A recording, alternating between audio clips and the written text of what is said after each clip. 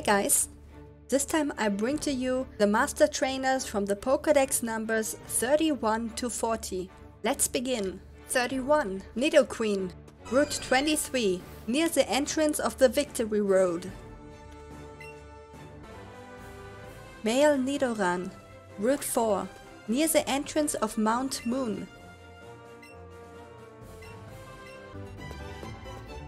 The Nidorino Master Trainer you can find on Route 7. Go east from Celadon City into the underground path.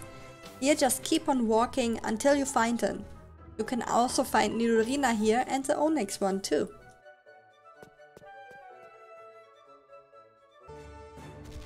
The Nidoking Master Trainer is fairly close to the one of Nidoqueen.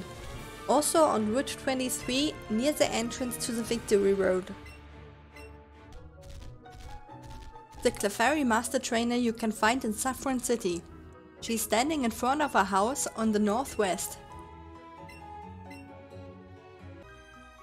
You can find the Clefable Master Trainer in Mount Moon.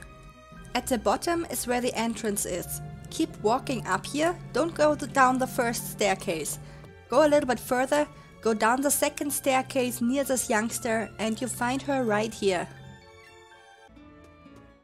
The Vulpix Master Trainer you can find on Route 6, north of Vermilion City, in the top right corner. The Ninetales Master Trainer you can find on Route 9. That is between Cerulean City and the Rock Tunnel.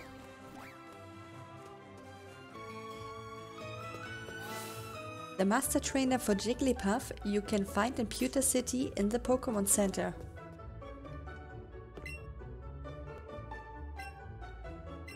And at last, the Master Trainer for Wigglytuff can be found in the Silph Co building. Go to the elevator and take the third floor. Then go over here to this teleporter, go to the next one, and you'll find her standing in front of the room of the director. But don't go in there, it's over here. Good luck!